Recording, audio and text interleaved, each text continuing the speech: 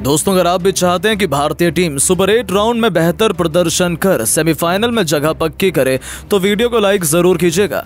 दोस्तों, super eight में पहुँचते ही भारतीय टीम को एक साथ मिली है पाँच बड़ी खुशखबरी। जारी हुआ सुपर एट का कार्यक्रम आठ दिनों में तीन बड़ी टीम से भिड़ेगी टीम इंडिया। आईसीसी ने कर दिया बड़ा उलटफेर, कई टीमों को लगे बड़े झटके, लेकिन भारतीय टीम को मिली एक साथ पाँच पाँच बड़ी खुशखबरी।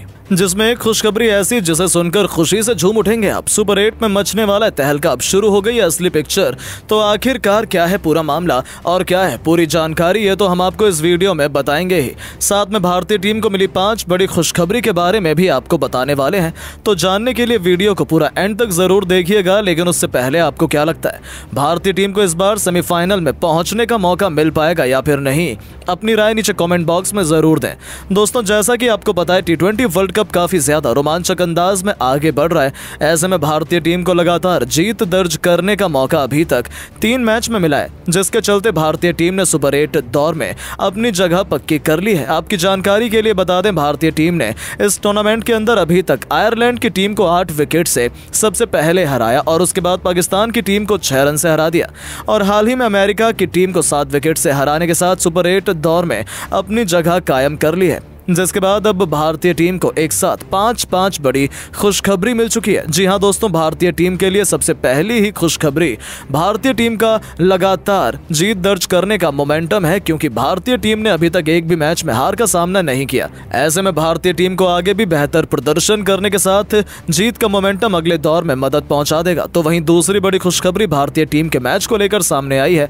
आपको बता दें, भारतीय टीम को अगले राउंड में बड़ी टीम के खिलाफ मैच नहीं खेलना है। हालाँकि बड़ी टीम का मतलब ये नहीं है कि वो अमेरिका और कनाडा जैसी टीम के खिलाफ खेलेगी, बल्कि भारतीय टीम को मज़बूत टीम के खिलाफ खेलने का मौका नहीं मिलेगा, क्योंकि न्यूजीलैंड, पाकिस्तान जैसी दिग्गज टीमें इस वर्ल्ड कप से बाहर हो चुकी हैं। ऐसे में भारतीय टीम को बांग्लादेश और अफ़गानिस्तान जैसी टीम के खिलाफ खेलने का मौका मिलने वाला है। तो वहीं भारतीय टीम के लिए तीसरी बड़ी खुशखबरी भारतीय टीम के अगले मैच को लेकर है। दरअसल अब भारतीय टीम को आने वाले समय में न्यूयॉर्क के मैदान की जगह पर, वेस्ट इंडीज के मैदान पर खेल रहे हैं, जहाँ पर बल्लेबाजों को काफ़ी ज़्यादा फ़ायदा मिलता है। ऐसे में मैच काफ़ी ज़्यादा हाई स्कोरिंग होंगे, जिसके चलते भारतीय टीम को बल्लेबाजी के चलते जीत दर्ज करने का मौका मिल सकता है। इसके अलावा भारतीय टीम के लिए चौथी बड़ी खबर रोहित शर्मा को लेकर सामने आई है। आपको बता दें, रोहित शर्मा पाकिस्तान के खिलाफ मैच के अंदर चोटिल हो गए थे, जिसके बाद माना जा रहा था कि रोहित शर्मा आगे टूर्नामेंट में नहीं खेल पाएँगे। लेकिन अब रिपोर्ट सामने आई है कि रोहित शर्मा पूरी तरह से फिट है और आने वाले मैच में कप्तान के तौर पर मैदान पर उतरेंगे। इसके अलावा अंतिम खुशखबरी भारतीय टीम के सभी खिलाड़ियों का फॉर्म में आना है। जी हाँ दोस्तों, भारतीय टीम के लिए सूर्य कुमार यादव और शिवम दुबे चिंता का विषय थे, लेकिन उन्होंने फॉर्म हासिल कर ली है। तो वहीं विराट कोहली भी अपनी फॉर्म को हासिल कर सकते हैं। ऐसे में सभी खिलाड़ियों का फॉर्म में आना भारतीय टीम के लिए आने वाले मैच में फ़ायदा पहुँचा सकता है। तो दोस्तों, आपको क्या लगता है, भारतीय टीम को इस बार सेमीफाइनल में पहुँचने का मौका मिल पाएगा या नहीं?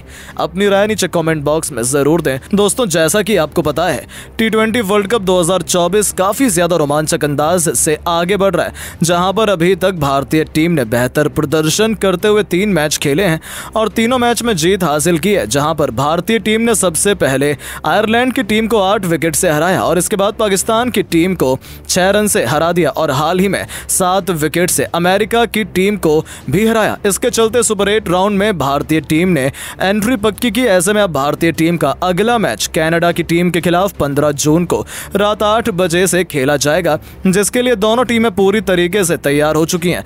लेकिन इस बीच मैच के शुरू होने से पहले भारतीय टीम को तीन सबसे बड़े झटके एक साथ में लग चुके हैं। जी हाँ दोस्तों, भारतीय टीम के ज़्यादातर खिलाड़ी अभी तक फॉर्म में नहीं लौट पाए हैं। हालाँकि भारतीय टीम को जीत मिल रही है, लेकिन कुछ खिलाड़ियों के खराब प्रदर्शन के कारण चिंता बढ़ी है। आपकी जानकारी के लिए बता दें, भारतीय टीम के लिए गेंदबाजी में अर्शदीप सिंह ने अमेरिका के खिलाफ सबसे ज़्यादा चार विकेट नौ रन देकर लिए थे। ऐसे में उनकी गेंदबाजी पर तो किसी को भी सवाल नहीं है, और इनका साथ दे रहे जसप्रीत बुमराह भी काफ़ी बेहतर गेंदबाजी करते हुए मैच में मैन ऑफ़ द मैच का अवार्ड ले चुके हैं। ऐसे में जसप्रीत बुमराह और अर्शदीप सिंह को एक बार फिर से गेंदबाज के तौर पर शामिल किया जाएगा, लेकिन इनका साथ दे रहे मोहम्मद सिराज अभी तक फॉर्म में नहीं लौटे। ऐसे में माना जा रहा है कि अगले मैच में मोहम्मद सिराज बेहतर प्रदर्शन करते हुए दिखाई दे सकते हैं।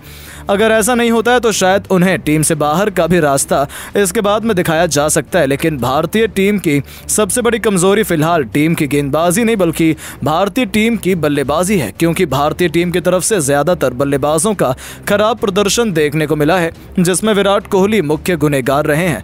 दरअसल विराट कोहली को इस बार टी वर्ल्ड कप के अंदर ओपनिंग करने का मौका रोहित शर्मा के साथ दिया गया था।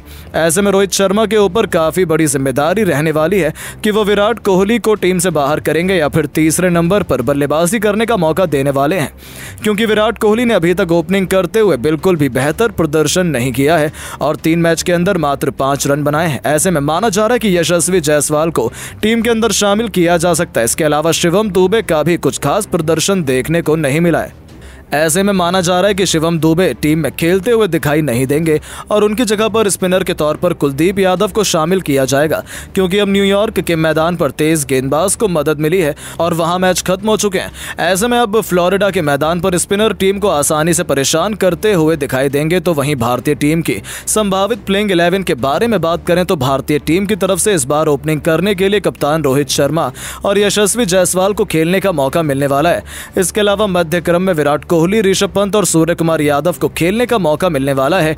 इतने नहीं, ऑलराउंडर के तौर पर हार्दिक पांडे अक्षर पटेल और रविंद्र जडेजा खेलते हुए दिखाई दे सकते हैं। साथ में तेज गेंदबाज के तौर पर मोहम्मद सिराज, अर्शदीप सिंह, जसप्रीत बुमराह खेलते हुए दिखाई देंगे और इनका साथ देने के लिए स्पिन गेंदबाज के तौर पर कुलदीप यादव को शामिल किया जा सकता है।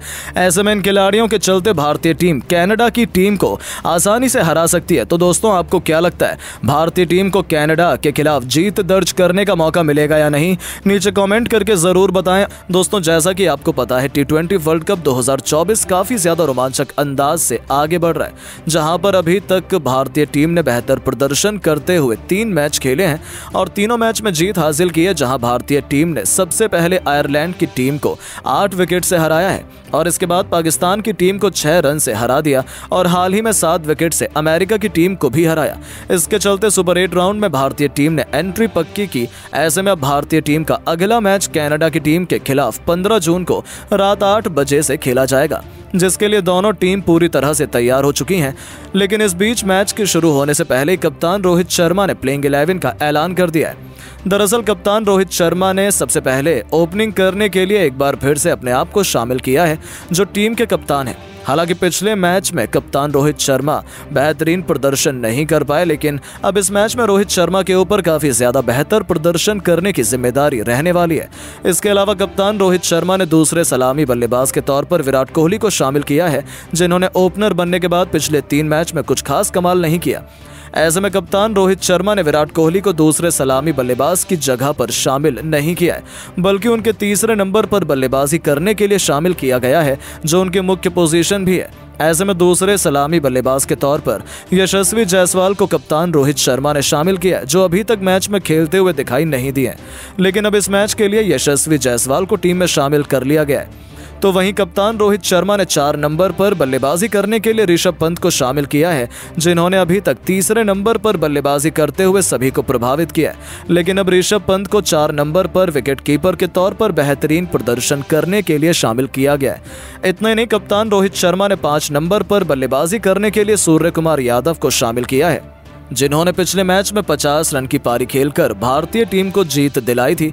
ऐसे में अब एक बार फिर से इनके ऊपर बेहतर प्रदर्शन करने की ज़िम्मेदारी है तो वहीं इनका साथ देने के लिए कप्तान रोहित शर्मा ने छह नंबर पर बैटिंग करने के लिए शिवम दुबे को शामिल किया है, जो बेहतरीन बल्लेबाजी करने के साथ बेहतरीन गेंदबाजी करते हुए दिखाई दे सकते हैं। ऐसे में शिवम दुबे के ऊपर एक बार फिर से ज़बरदस्त प्रदर्शन की ज़िम्मेदारी है। इतने नहीं दूसरे ऑलराउंडर के तौर पर उपकप्तान हार्दिक पांड्या को शामिल कर लिया गया है। आपकी जानकारी के लिए बता दें, हार्दिक पांड्या ने अभी तक अपनी गेंदबाजी से सभी को प्रभावित किया है। ऐसे में अब उनसे बेहतर गेंदबाजी करने के साथ बेहतर बल्लेबाजी की भी उम्मीद की जा रही है। इतने नहीं, कप्तान रोहित शर्मा ने ऑलराउंडर के तौर पर रविंद्र जडेजा को शामिल किया है, जो बेहतरीन गेंदबाजी करने के साथ बेहतरीन बल्लेबाजी करने के लिए शामिल किया गया है। ऐसे में रविंद्र जडेजा को बेहतर प्रदर्शन करने के लिए अब शामिल किया गया इतने नहीं, रोहित शर्मा ने स्पिनर के तौर पर अक्षर पटेल को बाहर का रास्ता दिखाते हुए कुलदीप यादव को शामिल किया है। जिनको अभी तक टीम में खेलने का मौका नहीं मिला है। लेकिन इनके ऊपर बेहतर प्रदर्शन ज़िम्मेदारी है। इसके अलावा कप्तान रोहित शर्मा ने तेज गेंदबाज के तौर पर सबसे पहले जसप्रीत बुमराह को शामिल किया गया जिन्होंने पहले दो मैच में मैन ऑफ़ द मैच का अवार्ड लिया था। ऐसे में इनसे एक बार फिर से बेहतर प्रदर्शन करने की ज़िम्मेदारी है। इसके अलावा कप्तान रोहित शर्मा ने दूसरे तेज गेंदबाज के तौर पर अर्शदीप सिंह को शामिल किया है, जिन्होंने पिछले मैच में चार विकेट लेने के साथ मैन ऑफ़ द मैच का अवार्ड लिया था।